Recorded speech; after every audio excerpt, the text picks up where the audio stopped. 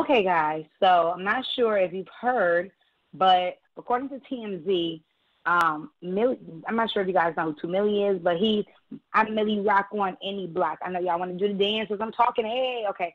Anyways, 2 Milly tells TMZ that he didn't know what Fortnite was until people started contacting him over social media, telling him that the game was still in his dance. The rapper says even his daughter noticed the similarity, similarities to his moves.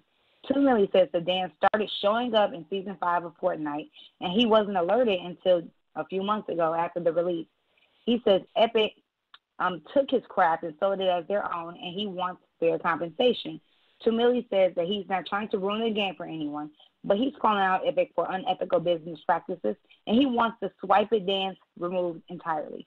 The rapper filed legal documents that that week Epic Games um, against Epic Games, the company, to make Fortnite Battle Royale um, for allegedly using his popular Milly Rock moves in the game without his permission to capitalize on the popular dance craze and make a ton of cash.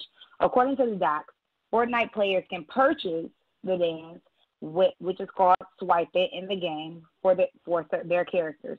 The problem is, 2 Milly claims Swipe It is an exact replica of the Milly Rock, but it never, but they never asked him to use it or offer him any kind of compensation for it.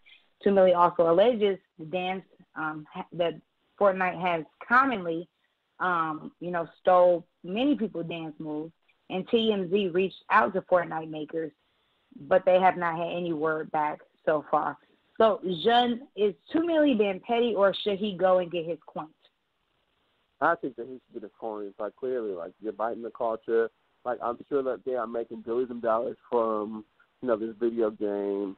Um, give this man some some sort of support. You know, he did, you know, start a whole movement, and I'm sure, like he, his life mm-hmm. is not reflected upon that. I'm, I'm sure he he hasn't acquired any wealth because of that. But there are millions of people that still Milly Rock, you know. And if you are, I can understand if you were just doing the dance, you know what I'm saying. But if it's like if you are clearly profiting from that, like if that's like a skin, I don't, I don't know, like the new fans, but if, if the characters in the video game are, are doing this dance. It's like just give the man something. Throw him like two fifty. You know what I'm saying? Just just something. Like yeah. it's, it's nothing, y'all. You know, just to embrace. But the fact that they changed dance moves, and I heard all they did was just change the name of the dance to like mm-hmm. some Fortnite rock or Fortnite, or you know whatever. Um, it's just it's clearly biting. You know, and it's just more of the mainstream being culture vultures and you know, wanting to take from, you know, hip hop, but don't want to contribute any sort of like monetary gain to help them grow. Right. Um, so I feel like he should he deserves something from that. You know, I I don't I don't know how far that is is going to go to say if someone is doing a dance move in you know in whatever. Does that mean that you have to start suing people now left and right? I don't know, but I know as far as in this case, you have a whole, you know, video game character doing the dance moves and everything else, that he should get some sort of compensation. This is, I'm sure this game.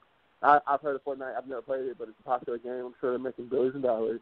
Like this was not going to kill them to license a dance move. You know, but that's that's it. What do you think? Absolutely.